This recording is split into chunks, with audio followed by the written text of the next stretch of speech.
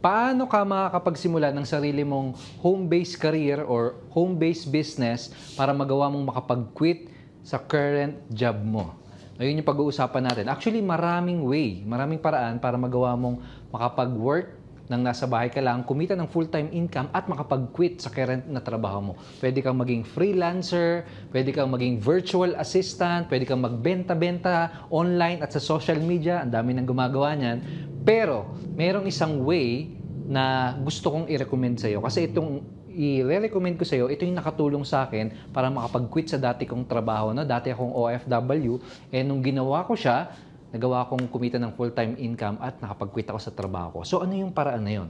Ang maganda doon sa paraan na yon, na magagawa mo makapag-start ng isang home-based business or career at makakapag-quit ka sa trabaho mo dahil nga pwede kang kumita ng full-time income nang wala siyang halong hassle, without hassle. So ano ibig sabihin ng walang hassle? Ito siya.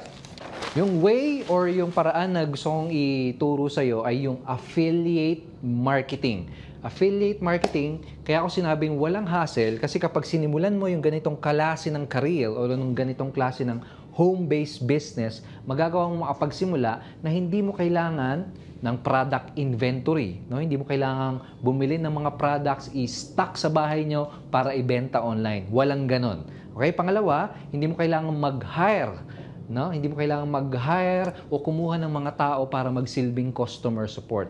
Pangatlo, hindi mo rin kailangan mag-deliver ng, mag ng product, magpa-courier, etc. At last but not least, ito yung isa sa pinaka-importante sa lahat para sa akin.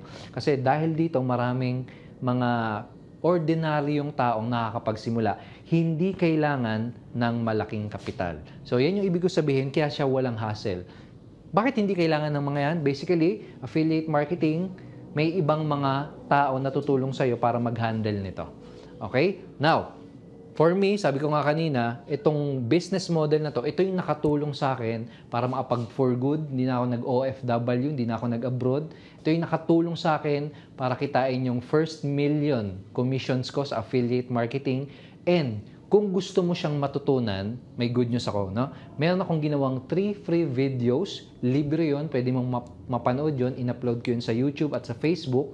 At doon ko tinuro kung paano ba nag-work yung affiliate marketing, kung paano mo siya sisimulan ng madali at ng mabilisan. So kung gusto mong mapanood yung 3 free videos na yon, kailangan mo lang gawin ay i-click yung link or yung button na makikita mo sa baba ng video na to.